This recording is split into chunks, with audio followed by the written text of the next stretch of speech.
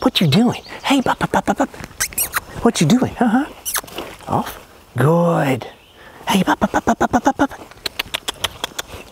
Good. Here, sit. Nice. Good. And so I didn't, I talked sweet to her, I moved around. So I had to kind of set her up to fail. So at other times, uh, when she catches me off guard, I want to correct her when I can, and I know she's coming. So later on, she won't jump up on me. Let's try it again. Hey, hey, what you doing? Sit. All right, you see the difference?